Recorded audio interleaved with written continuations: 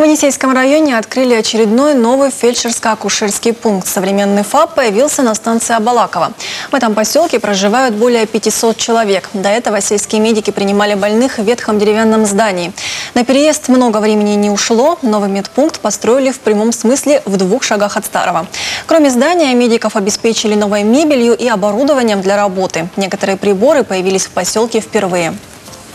У нас дополнительно э, нам выдали глюкометр для определения сахара крови. Плюс э, еще нам должны подвести кардиограф. У нас и оборудование хорошее, и тепло, и светло, и, в общем, все замечательно.